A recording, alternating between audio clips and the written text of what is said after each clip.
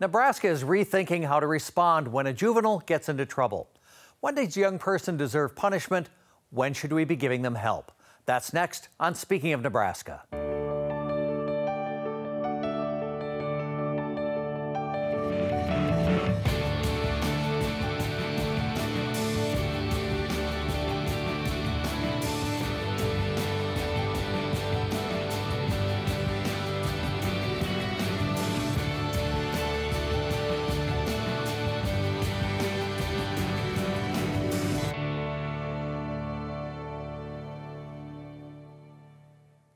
Welcome to Speaking of Nebraska. I'm Bill Kelly. We're here for another five weeks to talk about issues facing our state with some of the interesting people behind the headlines.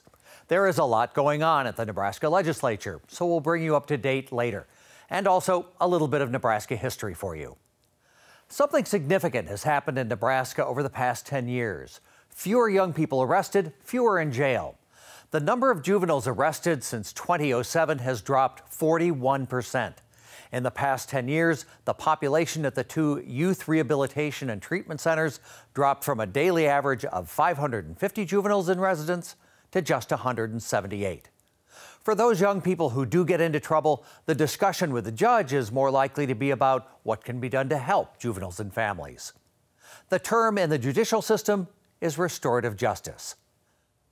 Deborah Denny and Alicia Jimenez are with the State Court Administrator's Office. They work with the state and county courts to change how Nebraska deals with its youngest offenders. I'm going to start start with you, Deborah. When we use the term restorative justice, um, how does that fit into the court uh, administrator's office and and the the area that you work in?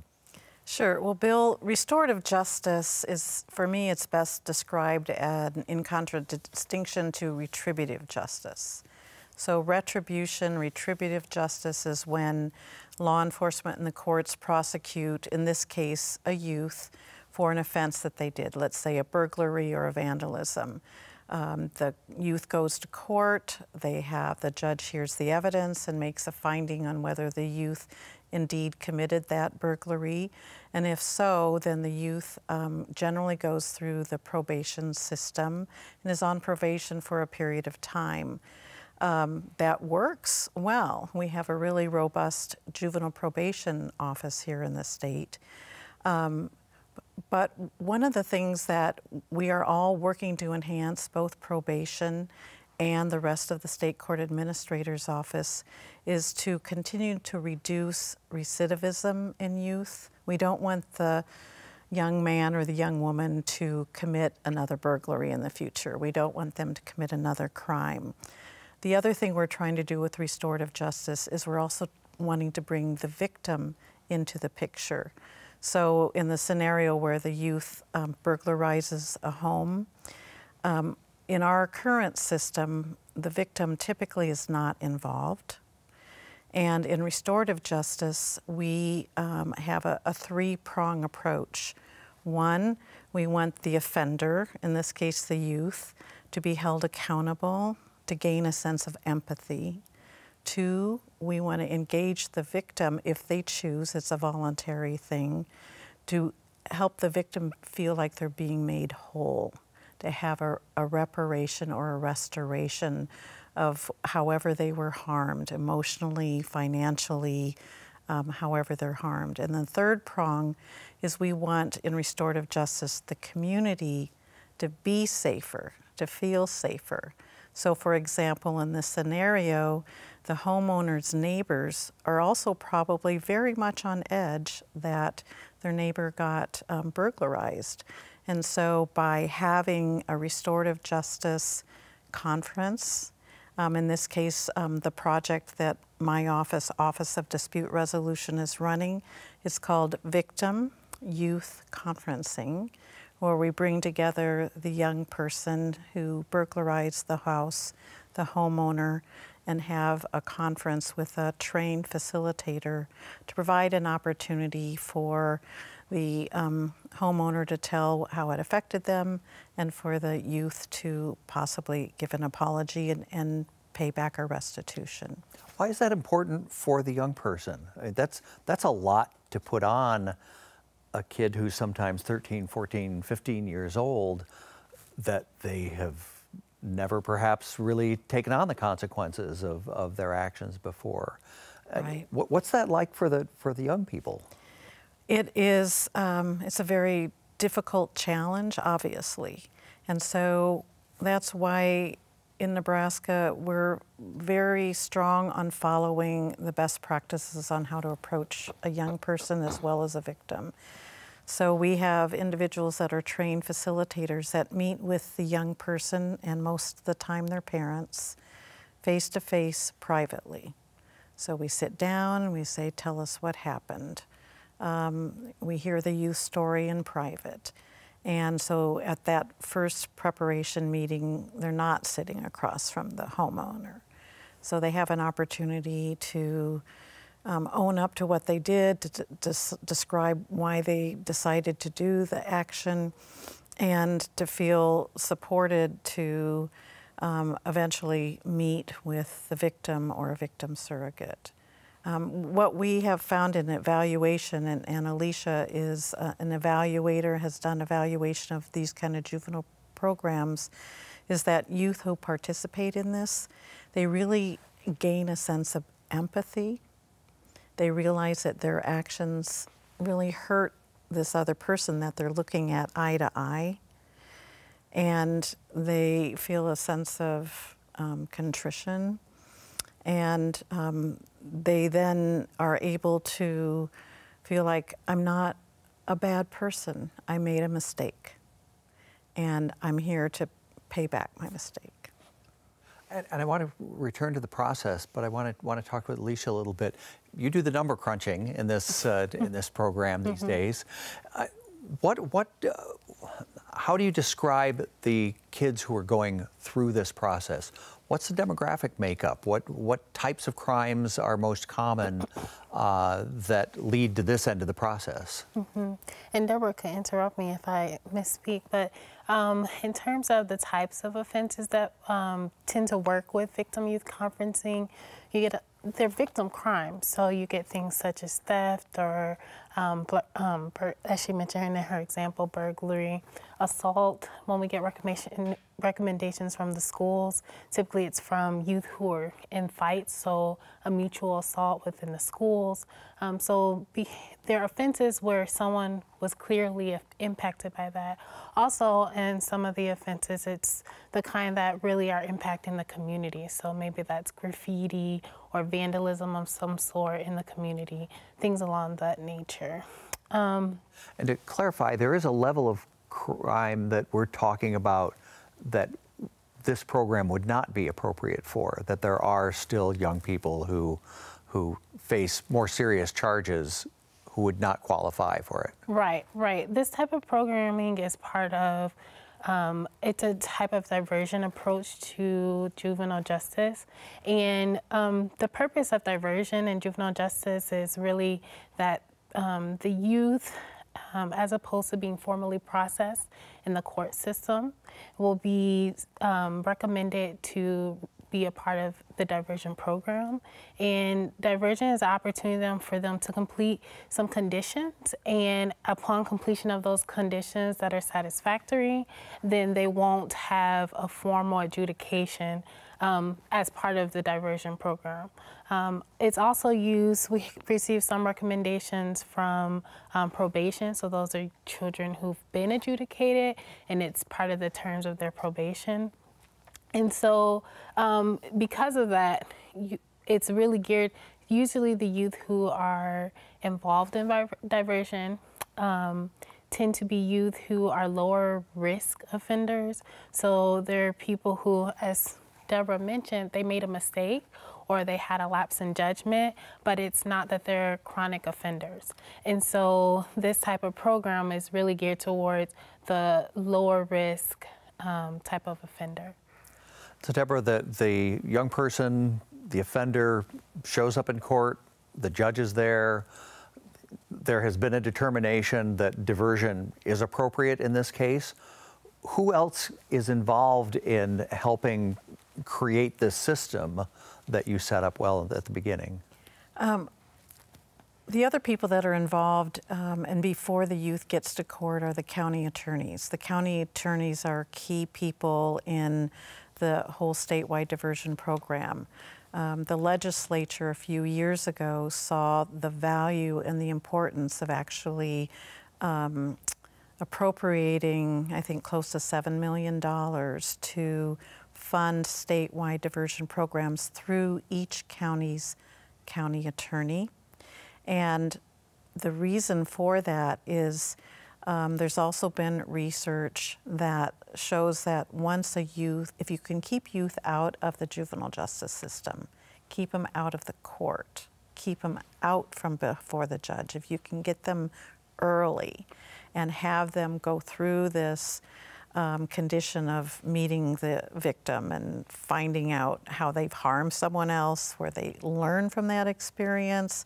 They feel a sense of contrition, possibly shame, but it's in a way that's more healing or restoring, that we're going to keep those children out of the school to prison pipeline. And we hear that language a lot, that once young people who make mistakes get into the juvenile justice system, they're at a higher risk for continuing in that justice system through adulthood. It's kind of like I'm obviously I'm a bad person. I made a mistake. I'm now, you know, going through the court system. I'm now on probation. And believe me, probation is working really hard to also reduce recidivism there, and I think they're doing a really good job. And yet, there are those young people who say, I'm going to just throw it all out. I'm a bad person, and so I'm going to continue to be bad. This is a way to help change the behavior of young people who, who have made a mistake or poor judgment. Alicia, this is a comparatively new approach. Still, what do the numbers show in Nebraska about recidivism, what they Mm-hmm. The, the term they use to say, are you going to get back in trouble again? Have you been arrested again? Right. So in the state of Nebraska, the Supreme Court has determined that recidivism is limited to whether or not a youth reoffends, um, whether it's anywhere from an infraction all the way up through a felony, whether they reoffend and um, within one year of successfully having completed whatever program they participated in. So the starting point is successful completion. And in probation, um, a report just came out earlier this year that um, the recidivism rate in probation is about 25.9%, which is actually pretty good considering um, the wide range of offenses that are that constitute a possibility for um, fitting within that definition of recidivism. So about a quarter of them will reoffend? Within one year. Now, it's important to keep in mind, however, as I mentioned, it's any offense that's not a, a, traffic violation. So that could include something that's on that's really small, um, up through something that's a very serious offense. So whether that be um, infrac- infractions for juveniles are included in um, in recidivism in calculations of recidivism. So as compared to, for instance, with adults, there's a much more narrowed type of offense. Um, they don't start. They start at a much smaller category of what constitutes recidivism. So 25%. So with kids, it's minor good. in possession, mm-hmm. it's uh, truancy. Right. It I'm could be uh, stuff like that. Uh, mm-hmm. It could be something as simple as a curfew violation if that happens within one year of having successfully completed the program and the youth was formally adjudicated in some form, whether in the juvenile or the adult court, for that offense, then it will constitute recidivism. With these types of programs nationally, are there indications that uh, since the Nebraska program is, is fairly new, are there indications that juveniles who are involved in this type of program are less likely to become adult offenders and get in trouble with the law? Um, I actually am not um, 100% aware of the longitudinal studies that have been done. There have been a number of meta-analyses that have been done looking at whether or not um, diversion programs and restorative justice programs function for juveniles for anywhere up to five-year windows of um, evaluating recidivism. However, I'm not sure. I haven't seen any meta-analyses or studies that have looked as far as from childhood up through adulthood. So I'm not sure if you've seen any studies like I, that. I haven't on that, but I do want to build on the 25% recidivism mm-hmm. for youth on probation because the pilot project that the mediation centers just completed on a specific, the Victim Youth Conference, the face to face conference, um, that the youth, and I think it was around 100 youth, that our recidivism numbers are about 12%. So about half of what the youth on probation are. We're showing like only that four out of five kids that participate in victim youth conferencing don't recidivate for a year later.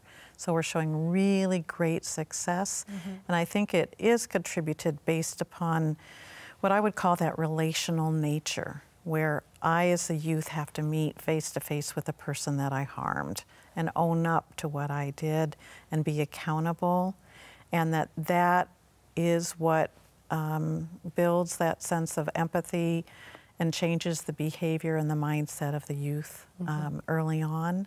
And so, and these, the, this is a U.S. Department of Justice evidence-based program, and Nebraska is working with University of Minnesota Center on Restorative Justice to implement this program, and we're very happy to say that the Nebraska data reflects the national data, which it really reduces that return to crime.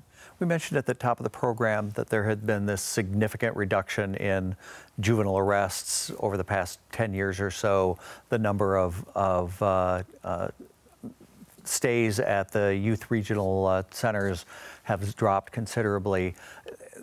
This program certainly can't can't take credit for all of it because that's right. been going on for so long. But right. is that an indication of just how many moving parts there are in in trying to reduce uh, the amount of uh, interface kids have with the law? Absolutely, Bill. There's lots of moving parts, and I have to again give a lot of credit to the state legislature and the state judicial branch for shifting the juvenile justice um, case management um, to the judicial branch, who's worked under Chief Justice Heavican and Ellen Brokofsky to make that reduction happen. Um, Office of Dispute Resolution and the mediation centers, the county attorneys, judges, Crime Commission people, we're, we're all continuing to have to continue to build the bridge as we go forward. But as you say, that data shows some really significant progress in Nebraska. And for each of us that has teenage children in our family, to have this opportunity um, means a lot. We predicted this. We're, we're running out of time. Uh, I had a whole nother page of questions to ask you, but I'd like to thank both of you for, for being here. Uh, Deborah Denny and Alicia Jimenez are with the State Court Administrator's Office. Uh, they both work with uh, county and state government to, uh, to how to deal with the state's youngest offenders. Thank you so much for being here today. Well, thank you, Bill, for inviting thank us. Here are a couple of other stories that NET News will be fe featuring in the next few days. On Monday, NET Radio and our friends at Harvest Public Media. The local food industry is getting crowded, so businesses are getting creative to draw new customers. One community supported agriculture program in the Midwest specializes in seafood. I had a chance to talk with a Nebraska born attorney who found herself temporarily assigned to President Trump's White House. Needless to say, it's been an interesting few months for her. And Friday marks the 105th anniversary of the deadliest tornado outbreak in Nebraska history. Listen for Mike Tobias's story on the 1913 Easter Sunday tornadoes Friday on NET Radio and watch his documentary Devil Clouds Friday night at 7 and 11 Central on NET World. You can listen or read to all of our uh, signature stories on NET Radio or at netnebraska.org/news and connect with NET News and our journalists on our Facebook and Twitter accounts as well. It's getting towards crunch time in the Nebraska legislature with a month left in this session. At the start of the year, the big questions were, as they usually are, about spending and taxes. This week, that all came full circle. Fred Knapp has been in the chamber for much of it. So let's start with the spending side. Uh, the budget has been issue number one this week. It has, and uh, it is stuck at the second round of debate. And the big issue is Title X family planning funds, which actually come from the federal government. There's no state money involved. But Governor Ricketts proposed that it be uh, language be inserted into the budget to prohibit giving any of those funds to any organization that performs abortions or refers for abortions. This is targeted at Planned Parenthood, which is one of the grant recipients currently. These are Title X family planning, contraception, pap smears, that kind of services, not abortions. But because Planned Parenthood also performs abortions, there are those who say the money is fungible, we want to cut them out of any funding.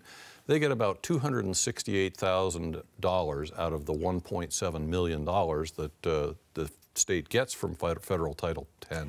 So is this really unusual that that there would be that small a budget line item that uh, that would hold up this whole process? It is, um, and uh, opponents of this language say this is what you get for trying to insert uh, social policy into the budget language.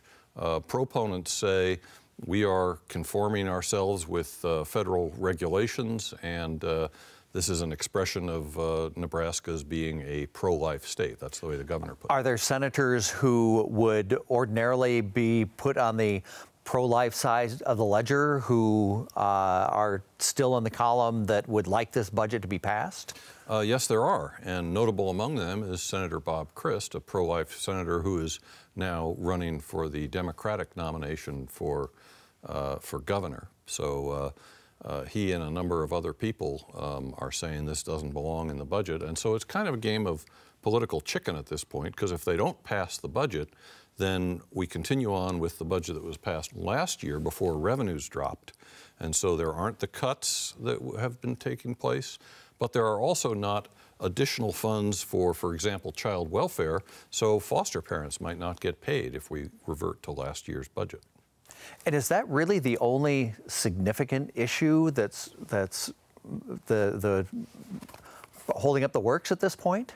Um, it's it's at the top of the list. Uh, usually there are a series of amendments filed to the budget, and uh, they get through the first one, and then they get on to the second one, and they can fight about. Uh, university budget cuts, for example. That one has already taken place. They decided not to cut the university further. But there are undoubtedly other items below the Planned Parenthood issue, and if the way things stand now, they're not going to get to them. Uh, Governor Ricketts vetoed a bill just today. What happened? Uh, he vetoed uh, the um, provision uh, in a bill by uh, Senator McCollister that would enable people who have served their prison sentences to have those convictions set aside. Uh, that's not the same as a pardon, but it's, it's uh, as Senator McCollister describes it, it's kind of like having a judge give you the good housekeeping seal of approval. Okay, you've served your sentence, you've done your time, uh, now you're entitled to certain restoration of rights, including uh, the ability to get federal student loans, for example. And this was considered one key in helping reduce the prison population that has been vexing the state of Nebraska for a long time.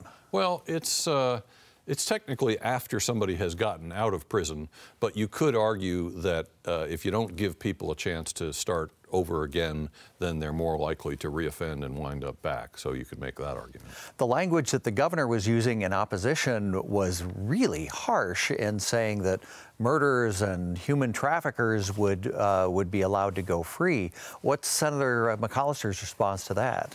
Well, um, they're already free. They've served their sentence, and they have to apply to a judge to say, uh, I've done my time, I've, I've lived a good life.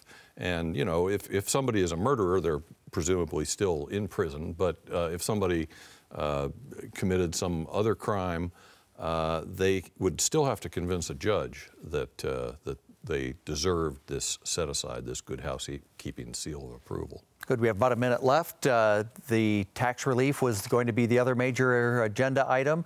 They really haven't gotten to it yet on a significant way? Are the clouds going to part and uh, are we going to see a tax relief package come out of this legislature? Well, uh, it has. The clouds have parted somewhat, and it's now out of committee, so it'll be debated on the floor. But uh, once again, there are those who say this is too much. There are others who say this is not enough.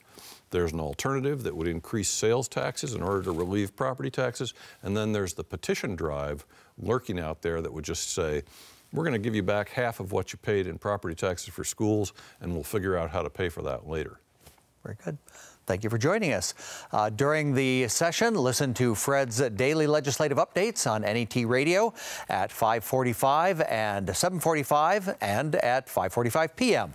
and on our website at netnebraska.org slash news. Even if you really don't follow the Nebraska state legislature, you know the name of Senator Ernie Chambers. The state's best known African American lawmaker has a poster of Malcolm X in his office. He was born in Omaha as Malcolm Little, and he's the subject of this week's Look Back at Nebraska History. Malcolm Little was born in North Omaha in 1925. His father was a minister who helped create the Universal Negro Improvement Association. Under constant threat by white supremacists, the family's house was burned to the ground in 1925. That was the first of three homes Malcolm would lose to the torch. While serving time in prison, Malcolm became a self educated activist. As a black nationalist, he changed his name to Malcolm X, speaking out for black self determination through any means necessary. In 1964, he authored the autobiography of Malcolm X. Eventually, he embraced the nonviolent principles of Orthodox Islam and took the name El Hajj Malik El Shabazz, urging peace, tolerance, and brotherhood until his assassination in 1965. While I have you here, if you are on Twitter, I would love to hear from you. What did you think about tonight's show? Or you can follow developments in the courts and legal system in the weeks to come. That's Bill Kelly underscore NET. That's all for this week's edition of Speaking of Nebraska. Next week, we'll talk about how trade policy impacts the state's economy. Grant Gerlach is the host. Thanks for joining us, and good night.